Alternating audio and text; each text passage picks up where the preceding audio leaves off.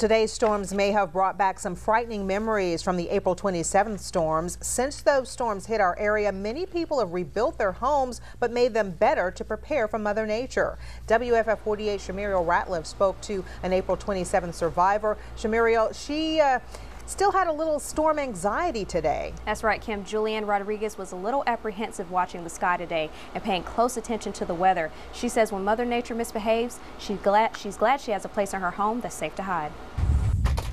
Julianne Rodriguez looks outside at the dark, ominous sky and remembers. The anxiety was through the roof. Um, you really, you always hear about tornado, tornado watches, warnings, but you never really anticipate how bad it's going to be. Since the April 27, 2011 tornadoes blew through her home in Anderson Hills, everything, everything was gone. Everything. She's rebuilt her home and added a potentially life-saving addition. The storm shelter holds about eight people. We do have um, sticky flashlights that stick up, up against the wall and the ceiling.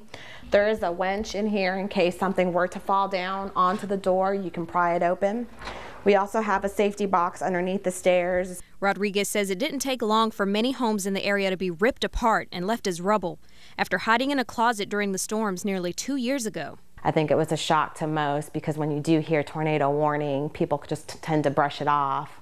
So when it hit and it hit hard, um, I think it kind of sent everybody into a state of shock and I think you really get a sense of respect for the weather. She's happy to have something to help keep her family safe. It is a sense of comfort. Again, it's still a little nerve wracking because you don't know what's going to happen. I mean, Mother Nature can take a turn in an instant.